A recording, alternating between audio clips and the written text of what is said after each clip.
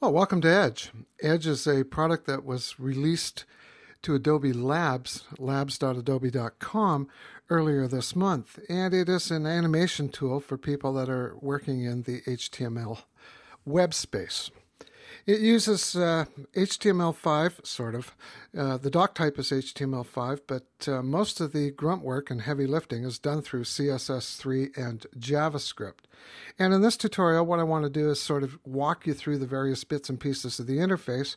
And then in subsequent uh, tutorials later on, uh, what I will do is show you exactly how to use the app for some pretty interesting stuff. So let's get started.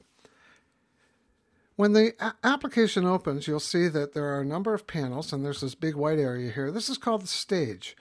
And the stage is where the action happens. So if you're a flash guy or any sort of um, video guy or anybody that does animation, you're quite familiar with the stage. If it happens in this white area, the user sees it, and if the, it happens outside of it, the user doesn't see it. It's that simple. The properties panel right here uh, displays the properties of all the items and objects that you've selected on the uh, stage. And the really cool thing about it is that you can actually name things and make changes right here to the stage. So if you want to call the stage, you know, well, we'll call it the stage. You'll notice that the name takes here and you can change the width of the stage by scrubbing across these numbers. Okay, you can change the height of the stage by scrubbing across the numbers. The other thing you can do is just double click them and input the values.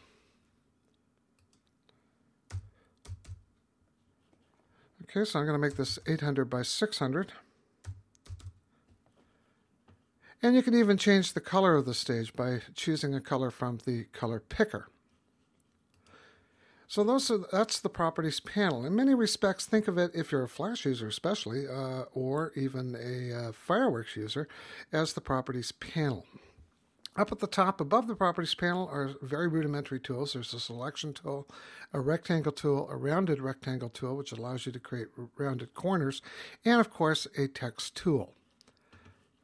Over here is the Elements panel. The Elements panel is not to be thought of as a library. Uh, basically, what it is is it's essentially a listing of the elements of the uh, web page. And the elements, these basically are the divs that are created as you get things moving around. And they will appear in order here. And when I say in order, that means in order in which they are added. And uh, that can be a bit problematic when you're first getting used to uh, working with Edge, but I'll show you how to switch things up a bit uh, as we get deeper into the exercises. The workspace here, there's only really one workspace, the uh, default, but you can set your own. Now down here is the timeline. And you'll notice first off that the timeline is bro- is measured in time. It is not measured in frames. Also, this uh, 0.01 is actually the one second mark. So you're looking at hundredths of a second here. These uh, two white diamonds that you see, they're keyframes. They're the, they're the properties that start the animation. This is the rewind button. This is the play button. This is the fast forward button. This will zip you over to the side. And this is the time code. Now, right now, in this iteration of the app, the time code is not able to be scrubbed or used. So I would suggest that uh, if you're looking to get this changed, go to the uh, forums and just ask if the time uh, the time code could be made a little bit more useful. These three buttons over here uh, are will affect how the timeline works. This first one is auto keyframe properties. As soon as something hits the stage, a keyframe is kicked out. If you don't want the keyframes, you can uh, add them yourself just by simply deselecting it. This uh, button here, the Generate Smooth Transitions button, basically allows you to have transitions smoothly occur like a fade or a bounce or something like that. And if you deselect it, what happens is it just basically pops. This button here, which kind of looks like a martini glass, is actually show only element, animated elements.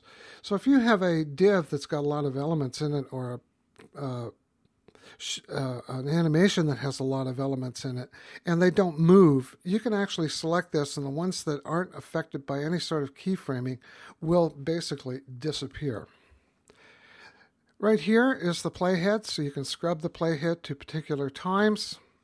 Right here, I've gone to the two second mark, and you can you know get animations to happen at that point. Now there's this little gray thing right here, and it's called the mark. This is uh, unique to Edge, and it's a pretty interesting little tool.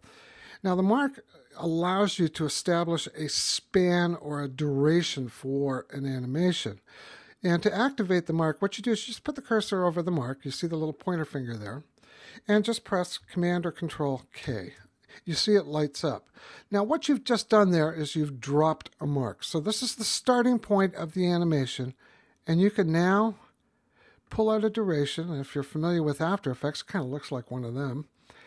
And there's the end point of the animation. The mark works in conjunction with the time with the playback head, and that's a really good way of thinking about it.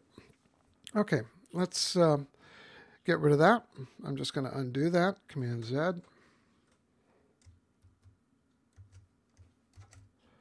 And we'll just put the mark back here. Okay. The tools are fairly simple or fairly basic, depending on who you talk to. And if I turn off keyframes, you can see that as soon as I draw it, the properties light up. And you can see that all objects have specific properties. Location, size, you got color, uh, fill, stroke. You can even have a border style. You can see solid dash. These are the CSS styles, of course. What sort of transform you'd like to have happen on the X and the Y axis, rotation, skew, scale. And this down here is for rounding off of rectangles. So if I scrub across here, you can see that the corner points come in, the solid corner diamonds come in, and the rectangle uh, essentially rounds off.